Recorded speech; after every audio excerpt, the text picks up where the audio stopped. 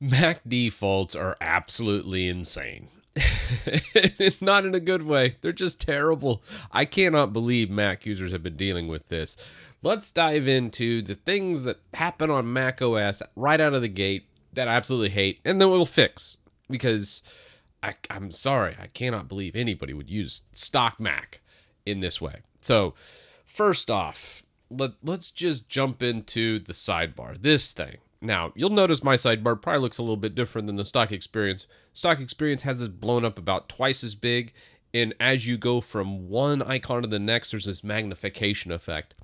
I mean, if you're in second grade, you probably think that's cool, but for me, I was like, that's insane. And then it's like just tons of bloat on the dock and everything here. So I remove all the animation and get rid of it. Speaking of which, when it comes to Mac's defaults, I probably could sum it up like this. Uh, Mac, it, it's like someone was a crackhead that was cocktailing some LSD with an absolute love of animations. Everything has animations. Oh my gosh. So, like the switching of desktops, like you can see here, this is obviously modified, but here is the stock experience. Actually, this is a little bit better than stock. I'm not even going to revert all the animations so you get like the whoosh effect, but you see the slide that happens from one desktop to the next? That's crazy. Like, what is Mac doing? Now that's with reduced motion and other things, so that's the the optimal effect, the the absolute less you can make it as a stock default. Now, I'm using third party tools here, so we just, like a normal person, go one, two, three, uh, one, two, three. You can go as fast or slow as you want. It's it's what Linux users have been doing for eons. And as a Linux user coming to Mac, I'm like, all right, I have to fix this because this, uh, uh-uh, I'm gonna puke on my computer. Oh, anyways, continuing on. I'm, I'm to try and rattle these off as quick as I possibly can. Um, next up, Finder. Oh my God, Finder. The worst file manager like ever created is by Mac. This thing. Oh, there's so much to do here and talk about. I'm going to try and make it as small as possible, though. First off, icon. This is crazy. This is the default view of Mac and like if you have it like this then you have to like scroll over and find things i guess that's why they call it finder you're always searching for crap but you can never find it also like the defaults like the search searches the entire computer instead of the folder you're in like why is that the default um so anyways i switched to list view uh, another thing the sidebar is completely bloated up with a bunch of stuff. The, Windows does the same thing on the sidebar with like quick access is what they call it, but the sidebar on Mac, obviously removing like uh, those things, little little little touches that could happen from an aesthetics point of view. It's almost like there's just no. Oh, oh, oh, whoever's working on this, there's just needs to be some more detail oriented things where the OCD person in me is like, God, it should not be like this. Uh, so uh, obviously I just fixed it. So now it's pretty much alphabetical. But then we remove airdrop. What? Wait, what? Synology drives now back up there? No. Why? Anyways, some bugs and just kind of cleaning up sidebar, kind of important. Uh, the path right here, I'll obviously enable path bar, enable status bar. The fact these are off by default tells me that Apple thinks its users are 10 year olds that don't like to know where they're at in their computer or they only use the desktop and documents folder. Also, not having a status bar showing item count and how much drive space is left. There's just so much wrong with Finder. It's like blows my mind how bad it is. So Finder awful um, but I I you can make those settings and these changes that I've shown here to to make it less of a thing. Oh, before before I go too, if you're a Windows and a Linux user watching this, uh, you'll you might notice some Mac users if you ever get someone polluting your network with ds underscore store files, that file is essentially saving for the Mac user. Hey, this is icon view or list view. You can safely delete that file because that Mac user, if they know anything, they're going to set those defaults. Like my defaults are set like a sane person to list view And if there is no DS store file, which I purposely made my Mac not create these on the network files because I care about other users and I want to be looking out for them. I don't want to be polluting up all that with DS store files everywhere. Ah, ah, the DS store files, just delete them. Just delete them. And they should not, by default, be creating them on network shares with multiple systems. Small rant about the DS store files, but an important one, and you should know what they do. And yes, delete them anytime you see them. So you have my permission. you may piss off a Mac person, but whatever. Tell them to set their defaults, and then they never have to worry about it. And, and honestly, as a as I use this, I honestly don't like that DS store file saving anything. The only time I want that DS store file created is something like that has pictures, and maybe I want to go like a gallery view or something like that. Uh, that's the only time where I'm like, hey, it should create it in that instance. But the fact that that's the default, just whew, wild, absolutely wild. Now, I want to talk about the security of a Mac because that's another thing. When it comes to system limitations, you have system integrity protection. You also have extended Unix permissions. You might be thinking, Titus, what the hell are you talking about? Let me just show you. I've wanted to kind of label all these things because everything I'm showing right now can be fixed. Every as, as with anything with Windows, I created the Windows utility because if, come on now, Windows needs a lot of love out of the gate as well. And I was like, you know what? Let me redo this. So first off, the spotlight I noticed too was not very good. Now, mind you, it's way better than Windows Search, but that's a pretty low bar. Uh, so I replaced Spotlight with Raycast, and then Raycast you can actually bind hotkeys to launch applications, which is absolutely fantastic. I love that. But uh, what I use it for mostly is just launching applications and then hotkeying them. I turn off like all the AI crap and other stuff.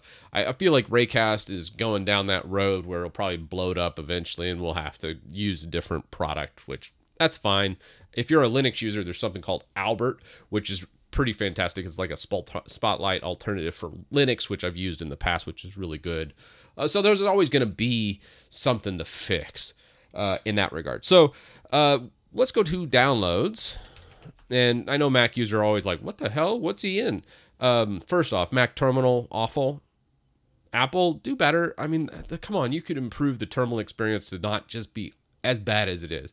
Uh, you can use Alacritty here. I also have been using uh, mostly Ghostty. Ghostty, I didn't really like that much on Linux, but on Mac, I could tell Ghostty was designed with Mac first and not anything else. So, uh, Ghostty's a fantastic terminal as well. Uh, more older Mac users, I see them use iTerm 2, which I tried that again and I was just like, it just didn't uh, it was better obviously way better than the default mac terminal don't get me wrong. But ghostty i, I thought was the best out of all of them. Uh, but sometimes i just want like a minimal terminal with just no flare and Alacritty just is the perfect one for me in that regard. So i kind of switch back and forth between ghostty and Alacritty depending on what i'm doing but for today let's show you these uh, default things. Now, I downloaded the MacUtil directly from GitHub, and you'll notice it has this little at symbol. So if you're a Linux user, you're like, oh yeah, that's just basic Unix permissions, but what's this thing? This is called an extended attribute, and it's really interesting how that works on Mac. And I was like, ooh, what is that? Okay, so this right here, it shows metadata. So it'll actually show some metadata sometimes for where it was downloaded from. And then it also adds a quarantine file for everything that's downloaded. Now Mac does this so you can't just download any binary and run it on your system. So if you were trying to run MacUtil, uh, MacUtil, it would say permission denied. Now you might be like, oh, well, it doesn't have the ch uh, execute ran. So adding the execute privilege to MacUtil and then running MacUtil, it runs. Um, but sometimes, like when you go to uh, do other things with it, you can take this or some some applications, especially GUI applications, will get blocked because of the quarantine command.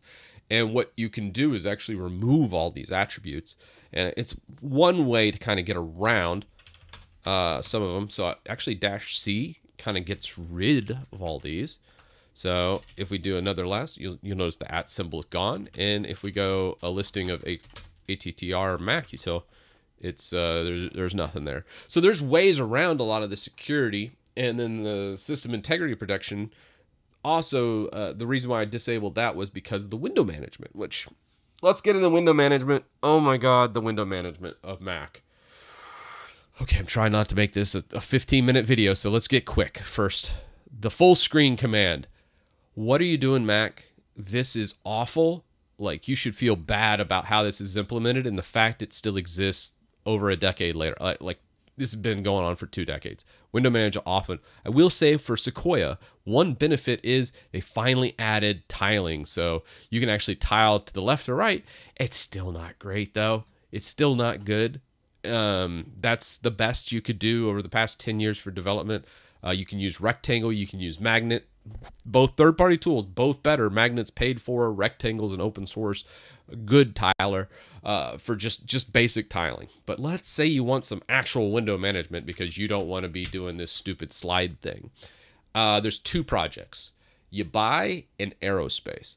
Uh, I'm using Yabai here just because it was kind of more of the obscure version, and I wanted to do some of the script extenders and other things that came with it. So I, I, I started with it and SketchyBar at the top. You'll notice my bar uh, up here, which if you hover, you still got the old Mac bar there. It's just kind of hidden. Uh, you can't really completely get rid of some of this Mac garbage, but you can clean it up so it feels like Linux, and that's what I like. So I got all this, got it done. Yabai's in there with SketchyBar. It's clean, um, but had to partially disable SIP, and that can be a problem for some developers, specifically developing for the mobile space. I asked a couple devs like, why, why, why does SIP like it's so annoying? Why not just disable it? Like, well, if you're develop for other Mac users, most Mac users will have that enabled, so you got to make sure that that's there, especially if going for the mobile space. You have to have SIP enabled to use like their their mobile utilities apparently.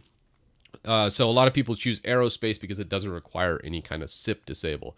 For Yabai to really get the full great experience like I have with no animations, really clean, fast window management, you you have to do a partial disable of SIP. So aerospace is the other one I'm going to try after this, but uh, for now I'm really liking Yabai and kind of taking this and working with the that and making it work how I want it to do. It, it's it's good. So you might be thinking, Titus, this seemed like you just sitting here rambling and complaining for the last 12 minutes.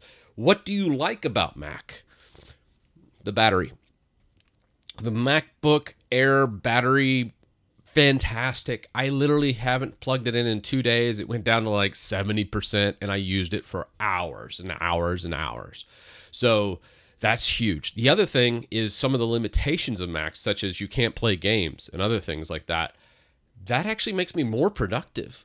So as I've been on Mac and I've been kind of tinkering around, one, it's kind of exciting to see something new that I haven't seen in a bit, as you know, I'm usually on Linux or Windows. And I was like, you know, there's a lot of things about Mac I can do, and, and I like fixing things. So uh, as I was kind of going through, I was really going through all these solutions and I looked at all these and I've been documenting as I go along on the removing of animations and fixing Finder up and setting up a proper dev environment. I, feel like there's a lot of opportunity here to make a utility like Mac Utility that could fix this up for users and go, hey, it doesn't have to be, you don't have to be treated like a second grader or a 10th grader to use Mac. You can actually use it like Linux and still benefit from some of the hardware if you do have a MacBook, which I've really, really enjoyed. And uh, I know Linux users are like, well, just use Linux then. But with that Mac, you have good update cycles, you have really good compatibility, and there's certain two pieces of software I wanted to use on Mac, specifically Final Cut Pro and Affinity Photo that work fantastic on Mac, which uh, don't work on Linux. Uh, Affinity Photo has like some wine hacks and other things on Linux that, eh, but it's not really a good solution. Where on Mac it is. So I've actually really enjoyed that from a workflow, and I wanted to test creating some videos in Final Cut and, and kind of messing around with that, as that's just exciting for me. So I've actually enjoyed it once I got it done, but it's taken like a week or so of really kind of messing around, and there's still certain things I'm like, ooh, that can be optimized or changed to be better. And then I want to make a good environment for you if you use Mac ever, and then make it really easy to set up. So instead of spending an hour or two hours sitting there. You just run one script, fix it, and then go on with your life and never have to mess with that script again until maybe the next feature update or something like that, like it is on Windows. Um, but that's that's my opinion of Mac. Uh, big shout out to all my patrons, YouTube members, uh, Twitch subscribers. Thank you guys. As I've been kind of messing around on my live streams, just kind of seeing what all goes on in Mac, I, I, it's been exciting. So I, I, really do enjoy seeing problems and then fixing them. So uh, let me know down in the comments what you'd like to see because I really want to make this a better experience. And I'll see you in the next one.